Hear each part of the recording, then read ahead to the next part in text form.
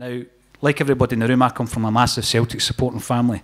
My uncle Chick, his firstborn was called Kenny, right? Second boy comes along, Danny.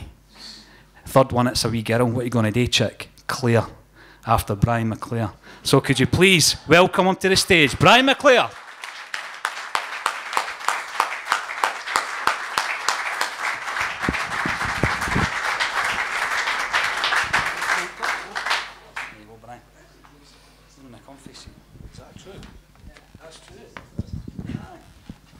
Claire. So, Brian, welcome to McCool's. Last time I was here was a League Cup final when Kilmarnock beat us 1 0. So, I, don't, I hope that's not an omen for tomorrow. Now, Brian, uh, you'll be looking around uh, this room, and there's obviously a, a, big musical influence. Brian is a massive music fan, and he joined us last October at the Poetry Club, um, where we had live music from Edgar Summertyme, and we also had Chris McQueen on the stage, as well as Brian and Frank, one of your old teammates, Brian. So let's let's take it back a wee while. This guy here, correct me if I'm wrong, the only Scotsman to sign for three European Cup winning sides. Aston Villa, Celtic, Manchester United. So let's go back to your youth and uh, getting signed up from Aston Villa. Brian, talk to us about that. Uh, first of all, I wanted to say just about a couple of things you said before there is that um, I'm glad that things are going really well with your podcast. But if you're going to be involved in video, then I'm not involved because I've got a face for radio. uh, the second thing is it's the first time that ever, anyone's ever told a story which um, I've, I've, been assured is correct, that, uh, that I've been, uh, my name has been used for an actual human being. Mainly it's been dogs, cats, and, uh, and other uh, animals. Uh, so it's, and I always say that every day is a school day, and the school day for me is that uh, there's a wee girl running about, or probably a big girl running about, absolutely hating me now, you know, you know, I, you know, could, could have changed it to Bryony, couldn't you? So, anyway, um, I, I, well, I ended up going to Aston Villa because they were really good to me. Um, the, the I'd been down to for a number of times on trial. Uh, they asked me if I was interested in uh, going down, and uh, because they had said that they would help me to continue with my academic um, studies, because my, my parents were always encouraging and discouraging in the sense that they wanted me to play football, but they wanted me to get qualified as well. And they they always uh, gave me the encouraging news every week that you could break your leg tomorrow and uh, that's your career over. That's what I got from the age of 11 all the way to 35, really. uh, but Aston made the, the, probably the, made me feel the most comfortable, and uh, the opportunity to study A-level maths when I was there didn't work out quite that way.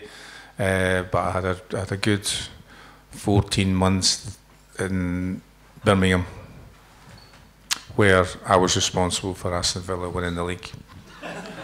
I never played a single game for them, but, but uh, Dennis Mortimer's boots were so clean, so sparkling, he was a captain, that uh, it dazzled the opponent's eyes.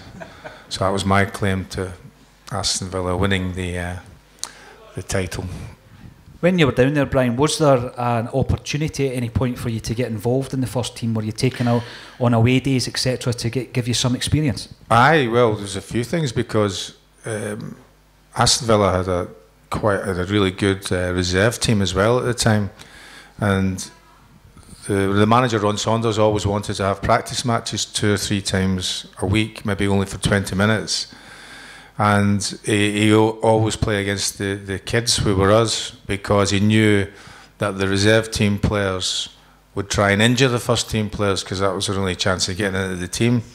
So he couldn't he couldn't afford the reserves to kick shit out of them, and uh, we were too weak to try. We tried to kick them, but we were just too weak, you know. So we played against them all the time. Yeah, Gordon Cowans, um, Dennis Mortimer, Alan Evans, uh, Jimmy Rimmer And uh, Jimmy Rimmer also was used as his fodder after training because there was no goalkeeping coaches in those days. He coached himself.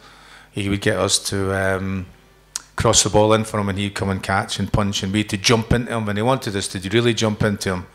But it also gave him the opportunity when he wanted, he wanted to punch the ball, they would punch you in the ear at the same time.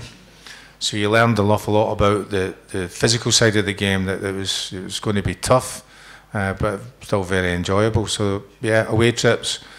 Uh, I went to Middlesbrough and at that, those times there was only one uh, sub, so there was 12 travelled, uh, the, the, manager, the coaching staff, a kit man, and me to help out with the kit. Uh, they lost that game 2 1. And the other trip I got, got to go on was incredible for me because uh, as a young boy, and my English team was Manchester United, and I went to Old Trafford on a, a Wednesday night. Funnily enough, it was pissing down the rain and it was a 3 each game, an incredible experience. But I remember the two events, hoping that one of the players would uh, fall down the stairs or get food poisoning or something like that, so that I would uh, get on the bench as last minute kind of thing, you know. But never happened. I had a terrible career, really. You know, so. Brian, when, when I speak to people from your era, they do talk fondly of the education that they had within the reserve team because you were up against experienced guys, guys coming back from injury, etc. And you've now got the experience when you worked with uh, uh, the, the SFA of academies, and, and until recently there was no reserve league. Did you think that was a massive loss to Scottish football when we done away with the reserves and it was youths against youths? I, I think that the you you it's great that uh, how much information that young players can get now with how to improve in the practice times and the facilities that are available for them to practice. But when I was taking the reserves at Manchester United, uh, when I was getting phone calls with regards to the players uh, from other clubs who were interested in taking any of those players on loan, the first question they ever asked about any of the players was, "What are they like at playing against men?" And when you're going through academy football, you're playing same age all the way through, same age all the way through. And it's one year we had to, to put a team into what was called the Pontins League, which was in the Football League, and all their reserve teams were made out of players coming back from injuries or players who couldn't quite get into the first team, and a lot of experienced players. I remember going to take a team to uh, Chesterfield and they had a team of um, adults playing, and we had a, a very young team playing. They're a really big, thuggish centre forward who was playing directly against Gerard Piqué.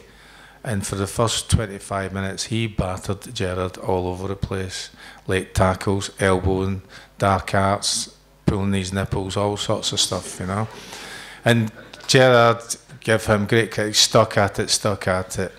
And when the um, centre forward got tired, Gerard does what he does very well now for Barcelona. Would take the ball and just run past them and run into midfield and start playing. And I think we beat them 6 1. At the end of the game, the centre half went up to Gerard Piqué, shook his hand, and said, Well done, son, that was magnificent. Not many people would have, have put up with that kind of abuse. So I apologise for putting you through that.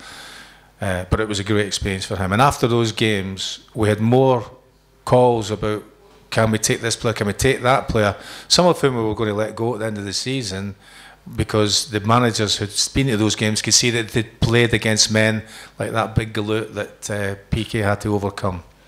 So for me, the, the, end of your education in football should be with uh, senior players. I suggested that the reserve league should have a reserve teams in Scotland every single one uh, to play in it, you should sign four senior players right at the end of their career. So you might be helping them with their with their uh, continued coaching aspirations. They may well have always wanted to play for Celtic or Rangers or Aberdeen, Hibs, Hearts, Dundee United, but they've never been able to do that. But now they're going to be able to play for the reserves. They're never going to play for the first team. So there will be a goalkeeper, a centre half, a midfield player and maybe a forward. And what they do as well is they coach the players for you during the day, particularly if you get them that are good pros who have just gone through their life, trying to do the right thing all the time and didn't just quite been able to do, but give out good information and show good examples. And if needed to be, they could take them somewhere that these young players could lose their virginity.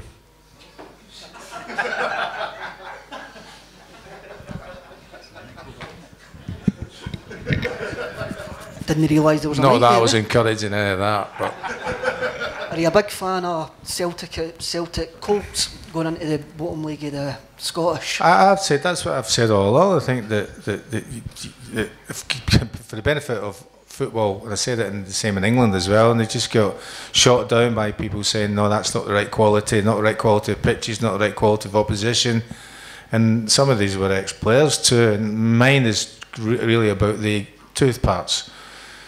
Can they overcome the the physical part of it? Can they overcome different plays, different styles, different hostilities? Uh, and they might need the these other clubs might need those players because they're not all going to play at the very highest level. Uh, and it ga- again gives them a, a great chance to be able to say, well, yeah, he played and he played, we can take. There not enough managers are taking. Everybody seems to be wanting a ready-made player to be successful. Well, we'll just get stick with the senior players, stick with senior players. If you keep doing that, soon there'll be no senior players left, and there'll be there'll be nothing in the, the lower echelons of, of football, particularly in Scotland. You need to give everybody that you ask any professional football player, and those when did you when did you play? What, happened? What the circumstances? And nearly every single one of them was the same thing. Somebody was injured, somebody was suspended, somebody was ill, somebody was out of favour. Or I kicked this player the day before, and the manager really light. I went in and I, and I seized the opportunity. If you don't give them that, then they're, they're, you just keep picking on, keep picking older senior players, and they, need to keep refreshing it, let them play. And a lot of the times they surprise you. So those class of '92 have gone on to be multimillionaires and hugely successful after their football careers. Some of them surprised you. I trained with David Beckham in the gym and in, in with the reserves. And uh, for me, all he wanted to do is play what's called a Hollywood pass. He'd get the ball on the right hand side of the park and he would whiz it 60, 70 yards to the left hand side of the park towards the left winger who A, couldn't run, B, couldn't control the ball. So it went out and I used to go, for fuck's sake, what are you doing? That's just all the time. Now, I couldn't see a player in David Beckham. I thought he was fucking hopeless.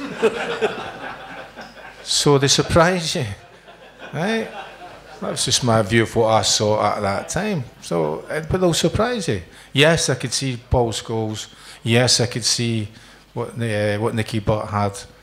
Uh, David, mm, not if he just kept.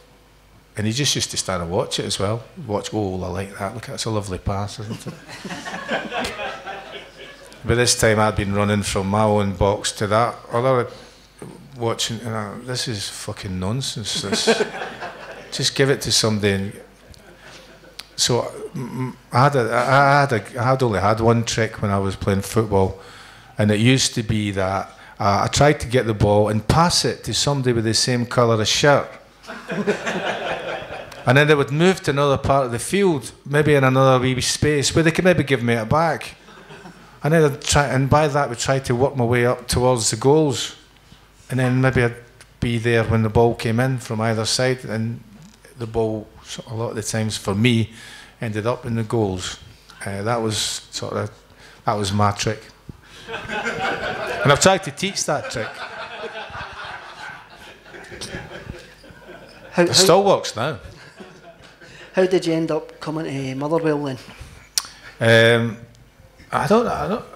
The co- you, you, you, great leaving school at sixteen, going into a man's world and an adult world where they just treated you as an adult, and uh, right away, although the right away what happened to me, the guy who wanted me to sign for Aston Villa, uh, he fucked off and went to a better paid job at Leicester. No. no.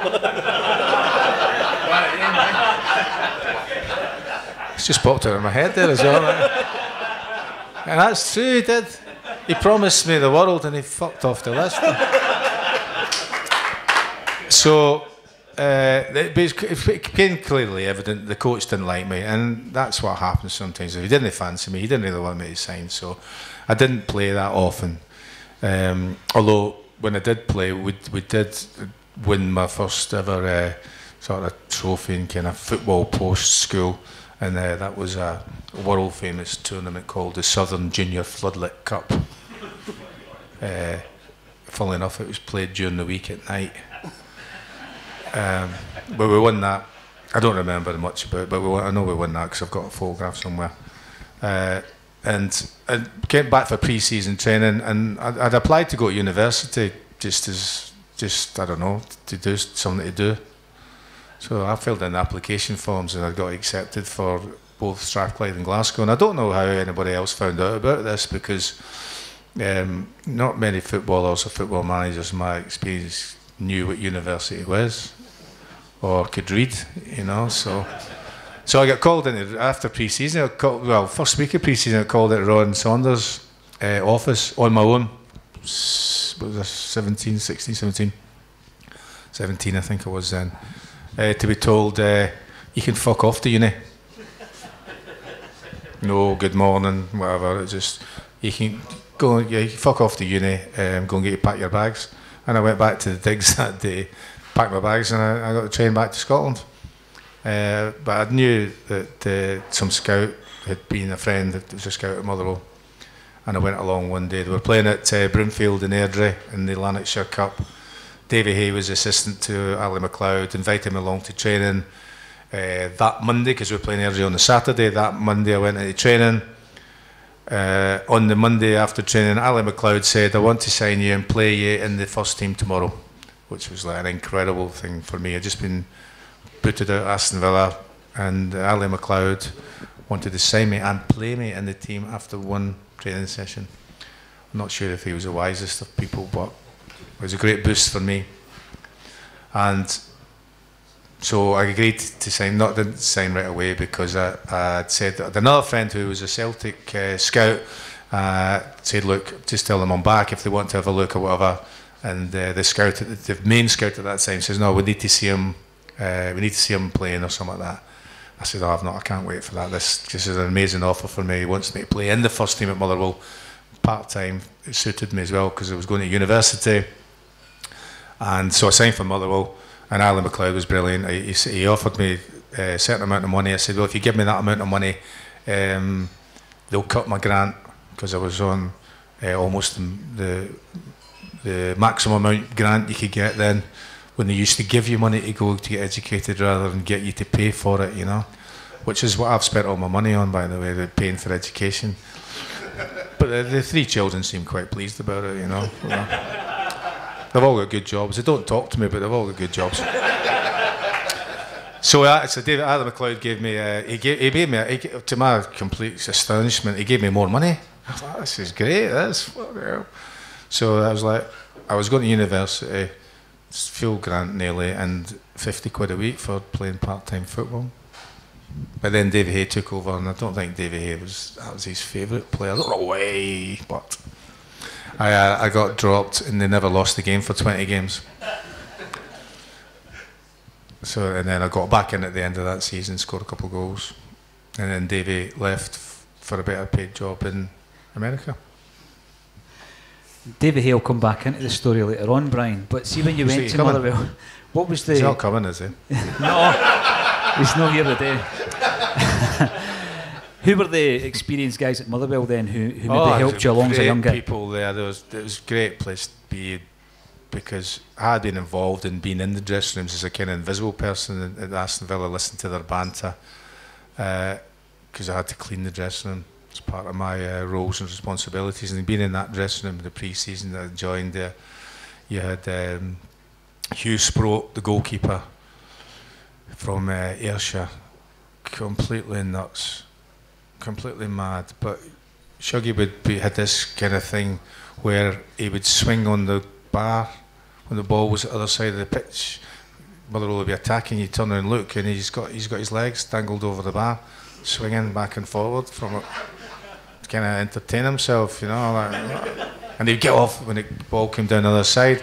But the, when we got into the the Premier League, he would all, he would wear a blue top against Celtic, and he'd wear a green top against Rangers. Completely mental he was.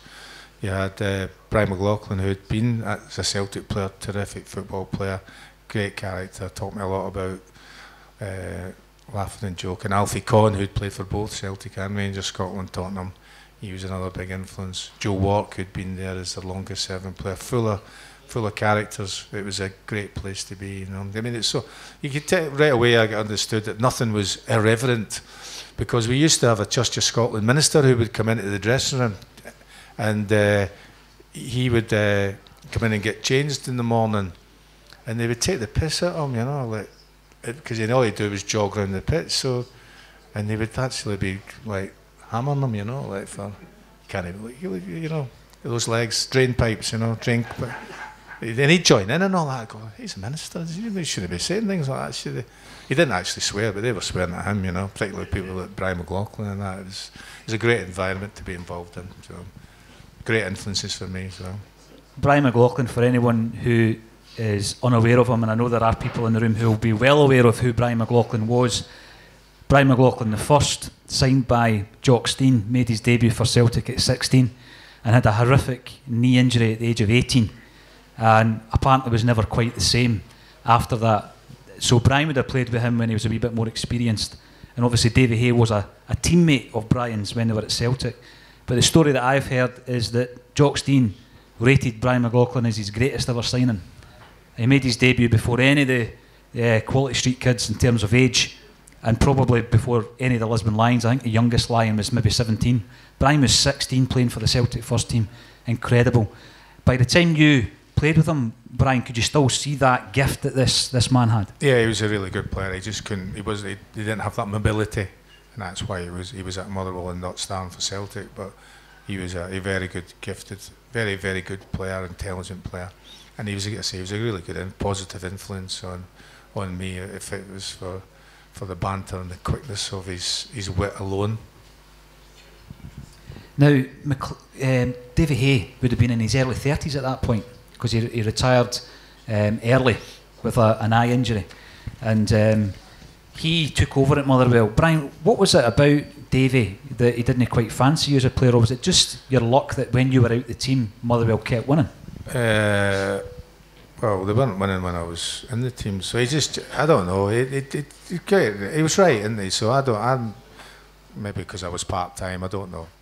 But they, they, he picked a team that went on to a, a 20 20 league match unbeaten run, and Motherwell won the Scottish First Division Championship that year uh, and got promoted to the Premier League.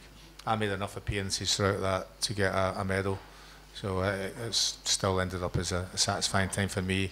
I was in, came in for the last, I think, four games, and I managed to score uh, maybe two or three goals. I remember um, my very first goal in. Uh, in senior football was at uh, East Stirling. And East Stirling had always kind of fascinated me as a kid because it was a kind of race between them and Albion Rovers, who had the least amount of people that went to watch them. You know, it'd be like 126, 126 people. And anyway, I ended up playing it. um, still in, and I, I scored a goal. And then uh, I also remember scoring a goal uh, down at uh, Queen of the South as well, who are uh, celebrating their 100th, uh, 100th anniversary this month, I believe. So yeah, I think it was uh, it was all downhill from there, really. You know, so after Queen of the South. Now it was Big Billy that signed you for Celtic.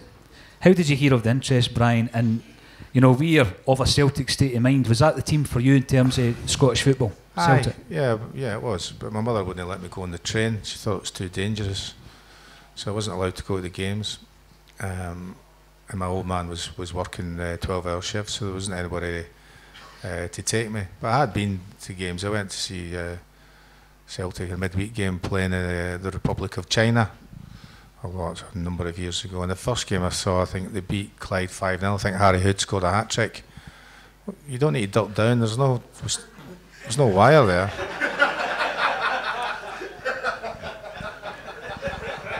I think people can see over you. You're- Uh, well, this, the, I, I'd, I'd been in Mexico with Scotland for the 19 World Cup, and I come back, and um, um, my my uh, there'd been a phone call from Jock Wallace, who was the manager of Motherwell, who had also been the manager of Leicester. Uh, yeah, he left Rangers to go to Leicester for more money. Fucking hell, Leicester keeps popping up a lot in this conversation. Um, and uh, there was a, there was a, um, he phoned he phoned the house. Is there, a wire there? limbo. Is there limbo dancing part of this? The, uh, and there was a phone call, and my brother answered the phone. He thought it was me, and he'd had a conversation with my brother, which my brother couldn't understand a fucking word he'd said, apart from when he realised it wasn't. Tell him to fucking phone me. So I got the message of to phone the manager. So I phone, pick up the phone, and it takes ages because you had to dial the numbers and wait for it to come back. Even with seven numbers. Uh, and then he answered the phone right away. I sold you. Get your ass over here. Put the phone down. My mum said, what, what was that? Yeah, oh, he said he sold me. What? He sold me. I've got to go over. So I went over and uh, you got to go. I where am I going? Sold you to Celtic. Big Billy's waiting for you. You got to go. Aye, what? Just fuck off to Celtic, will you?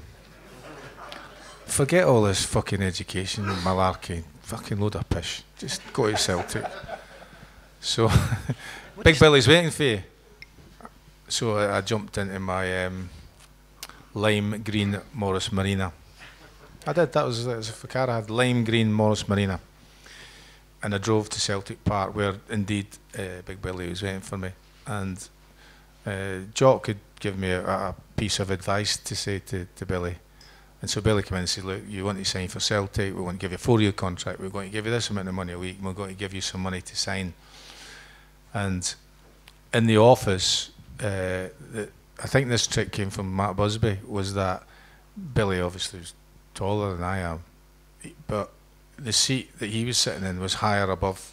It was like a bit like a throne, so it's like Hail Caesar kind of thing. So he's sitting in a bigger chair, and I'm sitting in one that, that, feels as if the legs have been cut off. so I'm kind of like my eyes are like kind of the height of the desk, and he's like I'm talking to him up there, he's up there, and I'm down here, and he had this kind of wee thing. Go, we'll give you, we'll give you two hundred and thirty-eight pound a week. I'm like, two hundred and thirty-eight pound a week. Amazing. I was trying to compute what I could buy right away. Two hundred and thirty-eight quid, and we'll give you some money. And I said to him, "No, I would, I would like that." And he slunk down into the chair. So he's like, I can see his eyes. That dropped out now. I can see his eyes, my eyes level now. That's how far he slid down in this chair. And he goes, You're a greedy, greedy wee boy. I says, Where do I sign?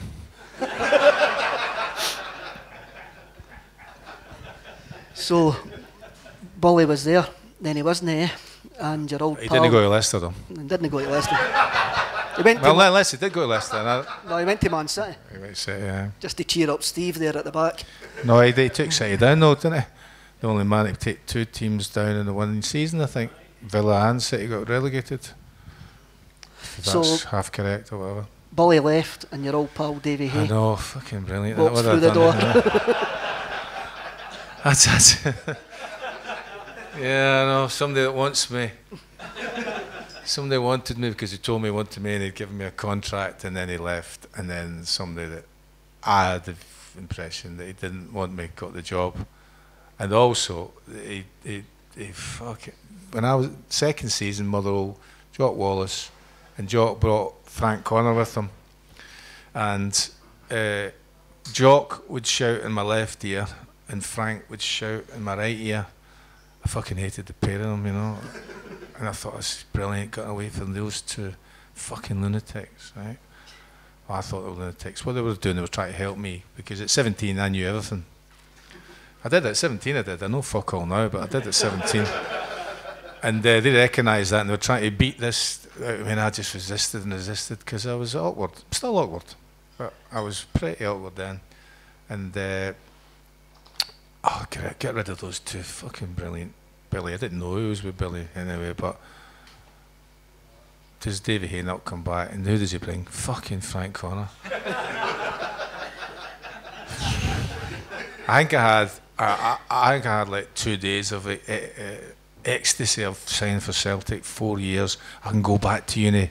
I think my body will, will decay quicker than my brain. Four years at Celtic. Oh, absolutely brilliant. Oh, for fuck's sake. What have I done wrong? You started a few games under Davy Hay, though. Eh? You I didn't start the first game, I was in the reserves. Right away. You scored your. Reserves. I didn't tell you that because we went on pre-season, pre-season tour to Switzerland, and it was really, really, really hot. I mean, it was 90 degrees in the shade. We didn't do a lot of training. We played one of the games against um, Bal, who changed their name quite significantly to Basel. Uh, see, apparently it was called Bal then, and uh, I got that's where I got uh, chocolate from because uh, they had a big uh, um, uh, terrace in it behind one of the goals, roasting afternoon. There was nobody there, and over the top of the terrace and come two Celtic supporters dressed, and in my, I'm telling you, it's 90 degrees in the shade. They're dressed top to toe in Celtic gear, tracksuit, coat, scarf, hat, a lot. Come over this thing, just the two of them there. Switzerland is meant to be called. On you go, the chocolate McClair. Tommy Burns like, what was that? I said, it was nothing, Tommy. Ah, I think it was. no, Tommy, uh, you're all right. Ah, he said chocolate. chocolate, Mc- ah, this is chocolate McClair. You're having it. Uh, no, you're all right, Tommy. Ah, I don't give a fuck what you think. You're having it. And that was, that was it. So I was like, Tommy Burns just made sure that that was it because he just kept calling me that all the time and, and re- referencing various types of chocolate for the next five or, or, or six days. Came back and I thought I'd done quite well. Played a lot of games, scored some goals. And in those days, which was uh, which I, which uh, I've always gone against, was that the the I think Frank would come in and put up two sheets of paper and that was the squad for the games. And at that time, the reserves played on the Saturday at two o'clock, and the first team played at th- three o'clock. So you you you up to the everybody, even the, the senior players, Danny McGrain, Tommy Burns, Roy Aitken, and that. Uh, they'd be up there looking, see if your name's on it and all that, and they'll go like that, and I'm looking, I'm going, Frank, there's a mistake. What is it? I'm not on this one. No. Oh, for fuck's sake, I'm on this one. Reserves, two o'clock, uh, report, half past twelve the next day anyway, uh, so they went to play Hibs at Easter Road, and I, I played against Hibs reserves on the Saturday. Scored twice or something. So So moving to a new club, Brian. Um, I've spoken to you before because you very helpfully spoke to me about Neilly Mochan. Um, Neilly being at that stage the, the kit man at Celtic Park. You said that you knew everything, but uh, did you take your own boots to Celtic Park, or did you have to be one of these guys that asked Neilly for a new pair of boots? no, I had um, a pair of boots, but quite rightly, uh, as the new kid on the block, as as when people used to go to, to work, certainly when my old man was going to work, the, the first day's work as apprentice, people would send you to the uh, the the store and ask for a long stand or a tin of tartan paint. So mine was the kind of t- piss-taking thing for me was ask Neilly for a pair of boots, and I was naive as fuck, right? So, aye, all right, you know. So I was, I, I'd, I'd always, I liked football boots. I'd been at, I'd been at Aston Villa. and I knew what Puma King were. I knew what Penarol were. I knew what Adidas World Cup were. I knew what the best boots were because I'd cleaned them every day. I spat on them and I polished them, so I knew exactly. Gordon Cowans had these amazing Italian things that were like, oh, they were the best leather ever. But Celtic was sponsored by um, Adidas, so I'm like, ah, World Cup, 78, magnificent boot. So they'd all primed me, probably Tommy Burns in particular, who was the biggest joker in the dressing room. So they're all waiting for Neilly to come in to do this, and he's probably in it as well. Go and ask that young lad that's just saying, we, we'll get him, we'll get him.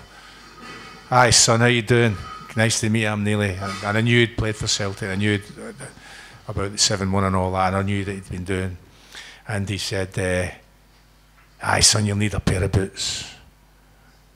I says, aye, Mr. Mochan, I would need a pair of boots. What kind of boots you want, son? I said, uh, I'll, I'll have Adidas World Cup. Oh, He's talking to this superstar. What about him? Adidas World Cup. He's been here a day. What's it you're Danny? Oh, you got Adidas World Cup? No. Aye. I'm like, absolutely that size. I never asked him for a pair of boots after that. But he, the next day he came in and he gave me a pair of uh, uh, Adidas World Cup. So I was uh, the, uh, I was humiliated the day before, but it taught me a, a lesson to to not uh, rise above my station right away. So it, it was very valuable from that point of view, and he continued that all the way through. And, and then I quite enjoyed waiting for the next person who came in that was new to get the same thing. And it didn't matter whether you'd come in from the reserve team dressing room. Mm-hmm. After the next game, at Dundee, we beat them 6 2, scored four goals. That's right. And then I went away and got dropped. I'm like, what, what do I have to do? Away, a European game away. On the bench. That European away would have been test, sport, wasn't? Sport in Lisbon, eh? Would have been European. No, it was Aarhus, I think, or Our the, or the, yeah, I think it was Aarhus. I dropped or um, Aarhus. I, You did make your first European start for Celtic against Sporting Lisbon in the Yeah. home leg. yeah. Can anybody name the Sporting Lisbon manager that night? Yes. I wasn't asking. Earlier. Earlier. Joe Venglos. So you made your start at Celtic Park, 2 0 down for the first leg. Aye, two two and a half down. It I was, uh, was on the bench in the game in Lisbon, and I'll tell you what, it was one hiding, 2 0. I'll tell you. It, was, it could have been six or seven over there. Aye, and I, I, there's no funny things that pop into my head all the time, and you could just refresh things. We used to go down to, well, at the time, we'd always go to Seamill on the coast to prepare for big games. So it's quite clear that we're going for the European game. And it always used to surprise me, we'd train on the lawn at Seamill, you know, a wee tiny bit of grass that somebody had spent ages manicuring, yet we were allowed to fucking destroy it. and it was tiny, you know, and we had like the whole session on this tiny bit of, with the sea in the background and all that. It's quite an interesting experience. But I remember going up in the bus. Graeme Sinclair, who, who was at Celtic at the time, Graeme hated football, probably still hates football. It was just a, a way of making money, and he got out of football as quick as he could to become a news agent, and I think he's done quite well at that. But when he was at Celtic, he started up the Footballers Against Football Society. of which there was one member. But he bullied Mark Reid into becoming another member.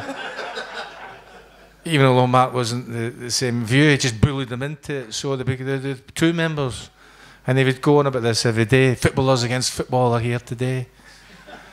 But I remember on the way up again, uh, like footballers being that sort of funny, dark sense of humour. We're on our way up to the bus, and I know I know I'm playing, and I'm nervous.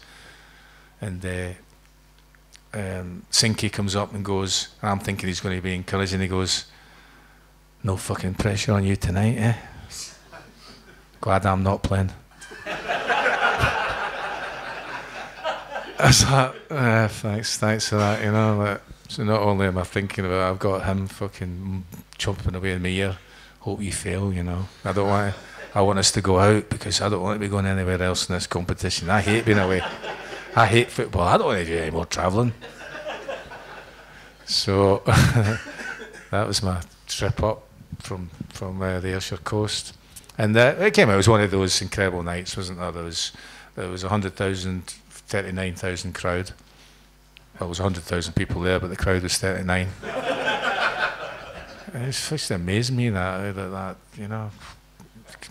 Know, can't get any more people in here. 39, 70,000 capacity. Where do you put the other ones? Where do you fit them in? 39. And uh, it was just an incredible night.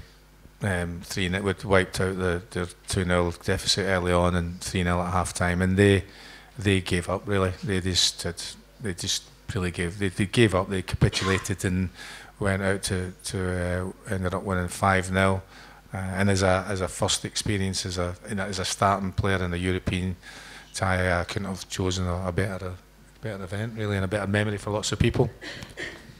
See, when you look back there, you know, we maybe were, not for Graeme Sinclair, but we were brought up with, with Celtic. It was a tradition that they would go to Seamill Hydro. I think probably Jock Stein started it. Maybe some of the older group could tell me if they'd done it before then. Um, and we did it through your time at the club as well, Brian. Was that really just a means of getting all the married guys away from the wife and the kids, getting people away from uh, guys asking them for tickets? Um, was it that kind of preparation? I think that also yeah. as well was the, was the saying that they, look, this is a different game, and we're going to prepare differently for it, and there's a different mentality about what you're doing. And yeah, it was always it would always be uh, the case, particularly the ones that they've got. Um, who have uh, got had kids and maybe could get a bit of a better rest. Although I'm not so sure that applied to David Provan because he had Frank uh, McGarvey as his uh, roommate, and uh, Frank wouldn't fucking shut up. I think he talked in his sleep.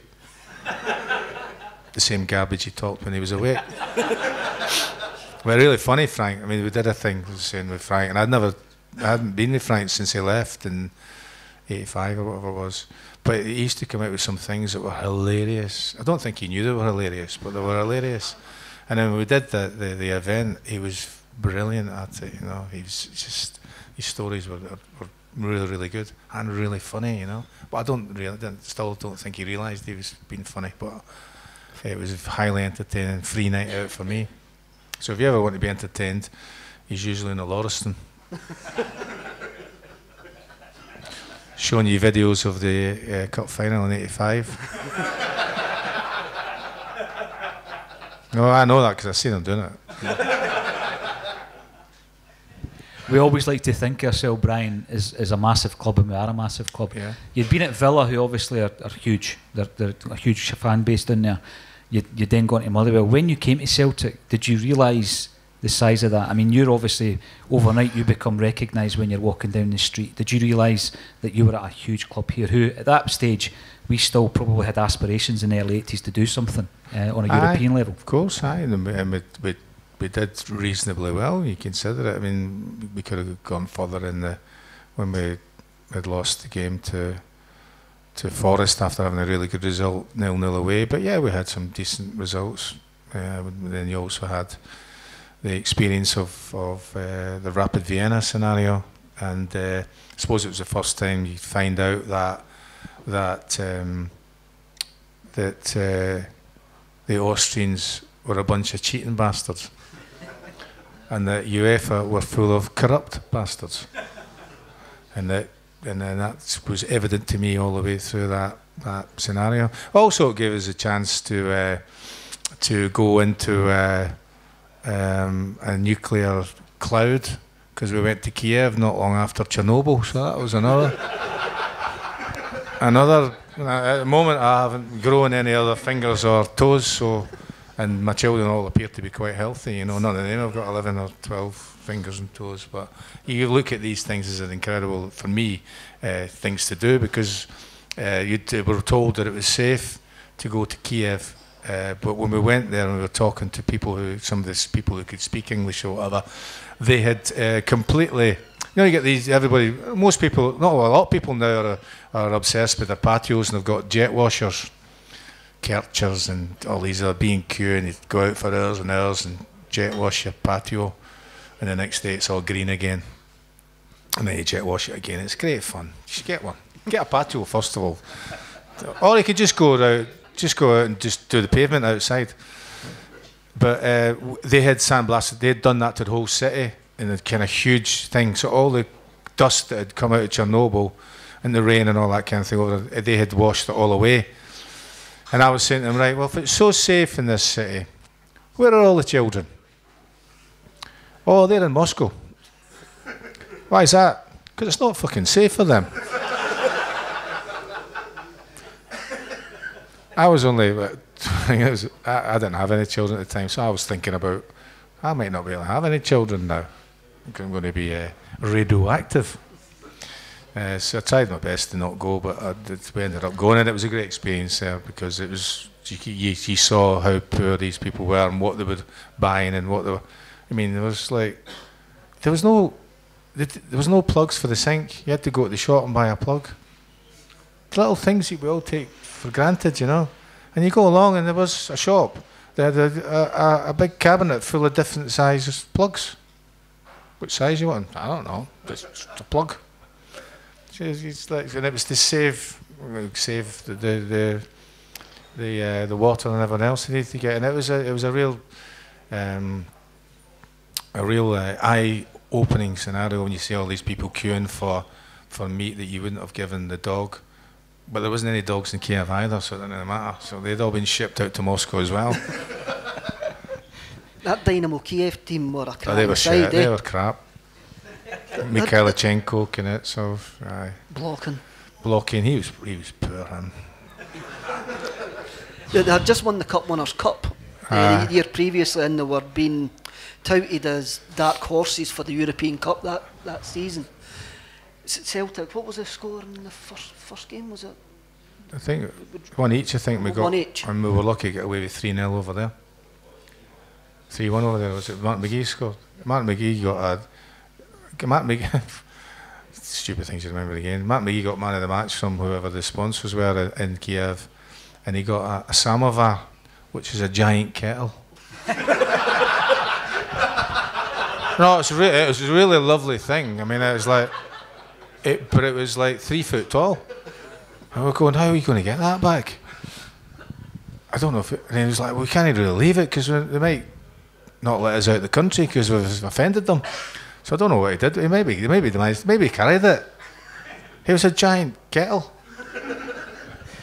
but probably worth a few quid now, so I'm only asking if you still got it. But the, was like um, samovar. The story I was told, and I'm sorry to use this guy's name, but Maurice Johnston. Um, prior to going over to Kiev, Brian, there was obvious risks with regards to diet and, and that kind of thing. And Dr. Fitzsimons, who was the, the son of the old doc, had uh, been going around the rooms checking on the players maybe the night before the game. And it comes to Mo Jones. He wasn't your roommate, was he? Uh, I, I, I roomed with Maurice once when I was in Scotland under 21s, but we were both at different clubs at the time. So right. he uh, couldn't understand because I was at uni there, so he must have been at Motherwell. Yeah, so I was I was studying for some statistics or maths exam, and, and he was like completely befuddled, befuddled. That, that anybody outside primary school had a book. well, that takes us on nicely to the story. So the Celtic players had been advised about diet, etc. And Dr. Fitzsimons goes into Maurice Johnston's room where he's got a suitcase on the bed and he says to him, Do you want any water pills? You want this? You want that? No, it's fine. I brought my own food and he opened the suitcase. It was full of Mars bars. Maurice Johnston, and because he was told not to eat when you're in Kiev, so he took a suitcase full of Mars bars to Kiev with him. That's how thick he was. So w- when you think back to Maurice, I think, uh, he, well, I don't remember ever getting a Mars bar. So so I think he was a greedy bastard then. Carrying a whole suitcase of Mars bars all over there. Not, that's a terrible thing to do. He didn't go to Leicester, did he? oh, worse. Wait, when, when fans look back to that time, Brian, Maurice Johnston seemed to, at that time, he was idolised, he was a fan's favourite. But anybody that watched the game thought, well, actually, Brian McClair's doing all the work and scoring more goals. Was that something that bothered you? Were you even aware of it?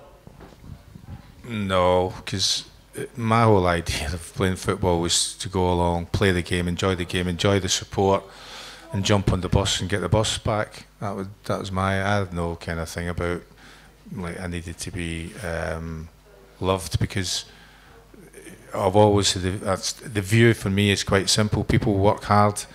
Uh, to earn enough money to go to football games, still do now, paying a hell of a lot more money now to go and watch it. And if they want to shout and scream and and, uh, and or, or, sing and laugh and joke, then they should be allowed to do that. Because my feeling is that, and you can correct me if I'm wrong, that that uh, I would much rather be on that green bit than be where you are. So that's how I've kind of so please just vent your spleen at me because I'm quite happy to be here.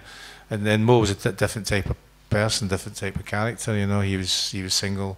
I was married. I had a, a young child, so um, he was he was a decent enough lad and all that kind of thing. Although he never used to have a bath. I've always I don't know if it's bizarre or not, but noticing things, you know. So I can tell when I go into the pub in Glasgow who's a Celtic supporter, who's a Rangers supporter. I can tell. All Celtic fans wear green training shoes. All the Rangers supporters wear red, white and blue ones. And you can tell I was in the pub last year watching the Celtic Rangers game and I said to Finn, he's a Rangers supporter, he's a Celtic supporter. What? No. Celtic scored, sure enough, Celtic scored. Yes, your beauty. Ah, for fuck's sake, Rangers. Red, white and blue training shoes. Green training shoes. You can tell.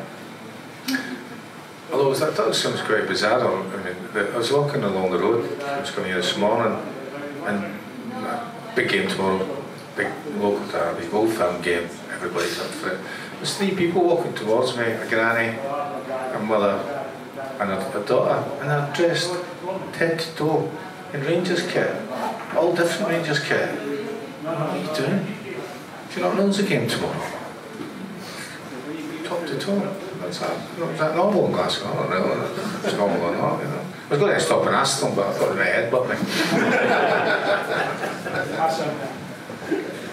In the, the end of your first season at Celtic, um, we went to the cup final against what was probably a vintage Aberdeen side, and we were unlucky to lose the cup final. No, we weren't unlucky. It was Roy Aitken's fault. I was going to get to that. And it was Roy Aitken's fault in the League Cup final. So it was it's unlucky that Roy Aitken was playing. and those two games for me, I know he did many great other great games for Celtic and won many things. Uh, but for me, it was Roy's fault. Was the referee not able for the, the 3 2 1 against Rangers in the League Cup final? Uh, well, the referee didn't have his best of days, did he? Really? No, no, could You know, like sending somebody off and then telling them to come back on, and then sending off somebody else. And then uh, it was a bit, it was a bit. Uh, yeah, the Aberdeen game, they were uh, they were much better than us. And cup finals, you always get a chance of winning. Uh, arguably in, in '85, Dundee United could have been the best team and put in the best performance, but Celtic scored two goals to win the game, two-one. You know, so. During your time at Celtic, we struggled against Dundee United. They always seemed to be able to get a result against us. And I remember struggling against Hamilton. Never mind Dundee United. Sometimes it was just like Dundee United at home, in particular with, with Jim McLean, were a formidable team at home. Yeah. Now, but they struggled time, against them in 1967 as well, didn't they? Aye, they did. Aye. At that time, Brian obviously lost twice, Mc- home and away. Yeah, aye. I know some pish.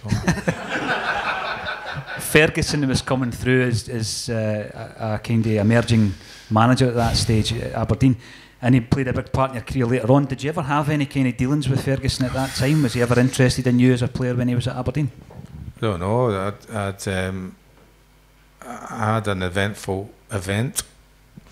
Uh, because I'd um, scored a few goals and been top goal scorer, they used to um, invite the top league scorer in each country in Europe to the Adidas Golden Boot Awards. The first year I went to Paris, and they had a, an Adidas they didn't scrimp. They put on a great party, and uh, we went to the um, Folies Bergère and it was like incredible for me. I was like, Paris, this amazing show, semi-naked women. No, no, that wasn't important, that part. uh, and then they, we got kicked out because we have two shows a day, so we were there in the afternoon, got kicked out, and then that was it, finished. But I just wandered up and down the Seine, as you do, because I didn't have any money. So, and then the next time I went, it was in um, the Principality of Monaco so as soon as that, uh, so I don't know whether I was driven as part of this idea that it was going to be there to stand and score more goals. I don't think I was a greedy player, but I did end up getting the chance. So I was top goal scorer, going to go to to uh, Monte Carlo, Monaco, and all I can think about was James Bond, James Bond films and other films of that ilk in the casino in Monte Carlo, and I've got a hundred pounds, and I'm going to go to the casino, hundred pounds red hundred pound red. I've just got this in my head. That's all I'm going for. I've got hundred pound in my pocket. After the two, I'm going to walk in. Billy Big Bollocks, hundred pound on red. Win lose, I'm going to take it. And then I'm going to go back to the hotel. Again, an incredible event. Got lots of nice gifts from Adidas. And uh, it's the casino's set across the road, so I can see the casino, and I've got hundred pound red, hundred pound red, hundred pound red. Brilliant! What a story to tell. Even if I never play football ever again, look, oh, yeah, James Bond, shaken not stirred, hundred pound red. And as I come out, uh, oh, the, before that, sorry, I'd just managed to catch the plane from Manchester to Nice, and Alex Ferguson was on the plane with a load of prominent English journalists Got to the hotel, lovely hotel, and they said, What are you doing? I don't have any plans. Come down for lunch with us. So I went down, had lunch, and they said, Would you like a drink? And I said, well, I don't know. And they were drinking bottles of Beck's. And I don't think I'd ever seen a bottle of beer before. It's just Tennent's. I thought that was all there was. Or McEwan's. And it came out of this thing at the back of the bar. Bottles, never seen them apart from American films. So I said, I'll have a bottle of that. They were drinking bottle of, they were drinking Beck's, funnily enough. And uh, he comes down, Fergie, never met him before, sits down, he's blah, blah, blah, He goes, Do you know what I hate about football players? I was like, No idea. Fucking that. Just as I, as he says fucking that, I go, All right, put it back down. Fuck, you're not my manager. And uh, that was my first experience. So I had a few more Becks. He was drinking Campari and soda because he thought this was. He didn't really. He wasn't a drinker then. so he drank Campari and soda. It's one of the most. disgusting, I tried it once. Oh God, it's disgusting. Makes Buckfast look like a cocktail. so anyway, at the end of the event, he goes, "Where are you going?" I'm going hundred pound red. What? Casino. Dump my bags. Dump my and what they gave us as well, I got a money clip. A Gucci money clip was one of the prizes. That was straight on the hundred quid. I've got a Gucci money clip, and I inside I've got a hundred pound. I think the money clip was worth more than a hundred quid, but I think this is brilliant. This I've got. I can take it out. There's money clips, even classier. Take it out my pocket money clip. what? Hundred pound red. I've got all this played out in my head. Where are you going? Casino. Hundred pound red. No, you're not. Huh? The fuck are you? You're not my manager. You're no going. Right, very good. So went back to the hotel, went up to the room, got the same thing. Ready, I'm ready to go, looking in the mirror. Hundred pound red. And I went to bed. No, I went to the casino, went to bed. Compound, and I had no idea why I went to bed because he wasn't my manager. I kept saying, he's not my manager, not my manager, but I went to bed. And then that was compounded by the fact the next day I found out that he'd gone to the casino, had a fucking, and had a fucking great time. I didn't have a book, I didn't have a comic, I didn't have any music. I just sat there like that. I'm in Monte Carlo in a hotel room, looking up at the ceiling, thinking, "What the fuck are you doing?" And I stayed in bed. And I told that story at his 25th anniversary dinner, and I said to him, if I hadn't gone to bed, I wouldn't be here, would I? He went, no. So it was a test for me, even though that I wasn't one of his players. I think that, that if I had gone to the casino, I'd, I wouldn't have, he would never have signed me at Man United. So was it a good thing? Was it a bad thing? Probably a bad thing. I should have went to the casino. Still got the money clip? I have, I somewhere, I. I haven't got the hundred pound note yet. that was my next question. I bought, I bought nappy, no, I bought, I bought nappies with that when I got back. They were more important than the hundred quid red, but. It's interesting though that he was he was testing you even though you weren't his player. He might he might have fancied you at that time, Brian. But um, before you left Celtic after the '85 Cup final, we had a memorable season that uh, ended at Love Street. They're still not a trip, were they? it ended they can they can edit that out. She's amazing at editing she made me look good and intelligent, and the last time I was doing some filming in Glasgow. hey, what's your asthma? Have you got your puffer? Love Street 86, Brian. Um, it's one of the moments as a Celtic fan you look back on as almost fairy tale like. We were never going to win that. What, what, what's the, the team talk at Love Street that day from Davy Hay? You all know what you need to do, but I mean, how? Or are you looking at guys like Tommy Burns, Danny McGrain, and Roy Aitken? No, I think that the fact that we had gone on a, a, a win and run. So for me, the, the, the, the time that I thought, well, we've got a right good chance was we went to Pittodrie and beat Aberdeen 1 0. The, uh, the other guy you're talking about, he scored the winning goal. And we'd never, again, like talking about Dundee United, we'd never, we never really did that great at Pittodrie either, you know. So that, that for me, winning there was like, well, I think we've got a, we could kind of do this now. And then I think that Hearts drew a game, which then left it going down to the last game of the season, where we had to win by two clear goals, and they just had to lose. And we were like, well, we've again, we were just going to go into the game and just play, and we were really confident because we'd been playing really well. So, and David Hay was was was a man of of very, very few words. He probably just named the team and said, uh, uh, "It's up to you now." That would be it. And uh, we were confident enough that we, that we were, and we knew that there was going to be a, great support because you got for warm up and there's it's, it's heaving already. Um, and say we were we were pretty buoyant, and and we you just had that feeling that that uh, it was going to be tough for Dundee because people don't remember at the time that Dundee would had a chance to qualify for Europe that year. So they had something to play for as well. It wasn't just a dead rubber for them. It certainly wasn't for Albert Kidd, was it? Being a Celtic fan, you know. So I wish I could get one of those T-shirts so that they all printed for the Hearts thing. That'd be good.